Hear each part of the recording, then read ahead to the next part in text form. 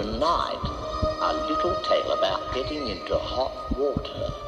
Our heroine, Emma, in all other respects an admirable woman, had one little weakness. Hot showers. Long, lingering hot showers.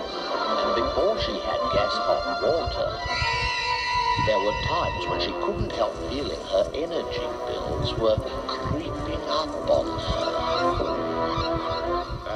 long shower, Evelyn. Oh, Tony. Sorry, love.